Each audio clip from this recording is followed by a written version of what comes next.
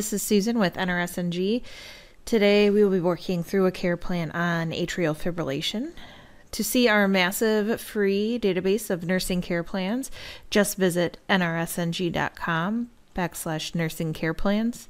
You can also download our free editable PDF care plan template that I'm using at nrsng.com backslash care plan template.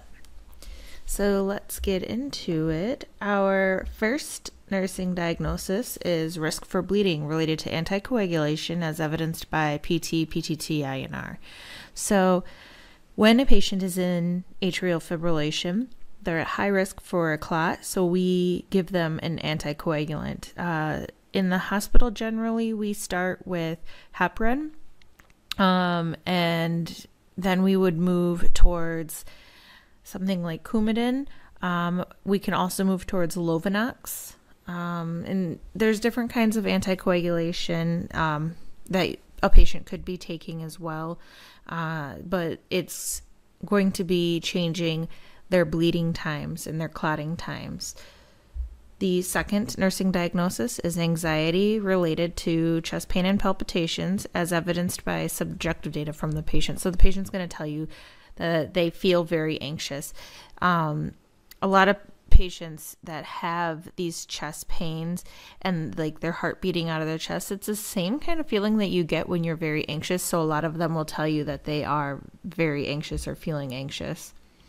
The third nursing diagnosis is decreased cardiac output related to irregular heart rate as evidenced by your EKG reading. So, your EKG is going to show that the um, heart rate is irregular.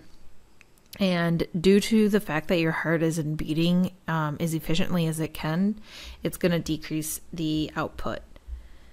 For your patient goals, uh, like we had said, risk for bleeding. So we want them to take anticoagulants as prescribed, keep all of their doctor's appointments and all of their blood draws. So patients who are on anticoagulants, they will be monitored frequently to make sure that their levels of um, their clotting times are all in the level that we want it to be at, what is perfect for their particular diagnosis or um, their age. There's a lot of factors involved um, to calculate it out, weight based and everything. So make sure that they do all of that. Um, we're going to educate them on the importance of proper anticoagulation and clot prevention. Um, not sitting in one place for too terribly long or taking their medication because if they don't anticoagulate, the risks of having a clot that moves from their heart chamber up into their brain or their lungs or their leg.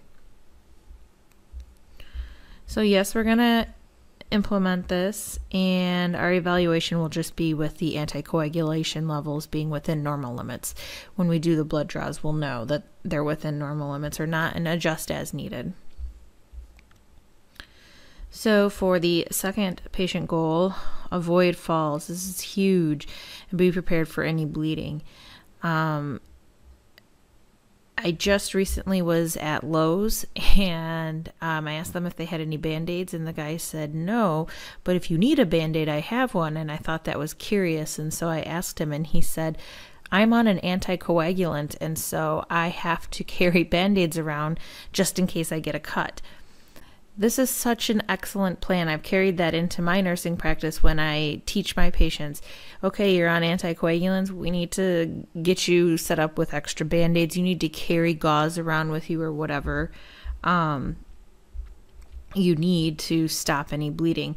And then, of course, falling. If you hit your head, uh, you end up bleeding, having a hemorrhagic stroke.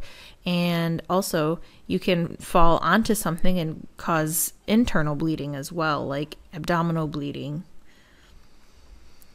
Um, so, educate patient on the risks of fall and also prepare them with a kit for band-aids, gauze, etc. Yes, we're going to implement this. And this is we are going to assess the um, outcome by doing a skin assessment and by them giving us the no falls report. These are the two biggest areas in nursing skin and falls. We own the skin and we own falls.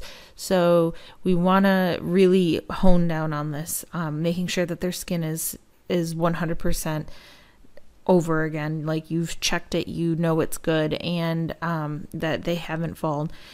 Our fall risks, you know, making sure that they wear their shoes when they're inside, there aren't any loose rugs, the area is well lit, clear of clutter, things like that. So for the third oops, I'm sorry. For the third goal, we're going to control the heart rate with antiarrhythmics. Um, these are your beta blockers, your calcium channel blockers, and your cardiac glycosides. So, beta blockers are your olols, um, like labetalol is a beta blocker. Your calcium channel blockers are such as cardizem. Um, your cardiac glycoside is your digoxin or your dig. So, what are we going to do for these patients? Uh, we're going to educate them on the importance of taking these medications um, on a regular basis. Yes, of course, we're going to implement this. And finally, um, we're going to monitor the patient's EKG to make sure that their medications are within normal limits and that they're helping. Um, we also want to monitor vital signs. For example, um, cardizem, which is the calcium channel blocker, it also can drop your blood pressure. So you want to be careful of um, how much cardizem they're getting, especially if they have low blood pressure or if they get dizzy spells. So make sure that your patient knows about anticoagulants, falls, and controlling their heart rate with their antiarrhythmic medications. And that's our care plan on atrial fibrillation. Visit nrsng.com slash nursing care plans for our huge free care plan database and nrsng.com slash care plan template for our editable care plan template PDF. This has been another episode of the NRSNG podcast. Thank you for joining us, and thanks for being a part of the NRSNG family. Now, go out and be your best self today